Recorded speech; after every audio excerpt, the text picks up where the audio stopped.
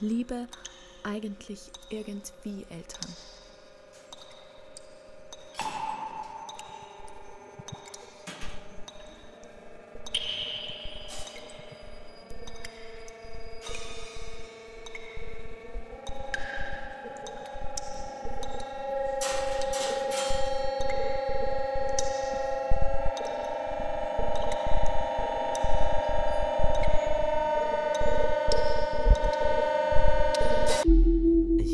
glaube, es fängt etwas an.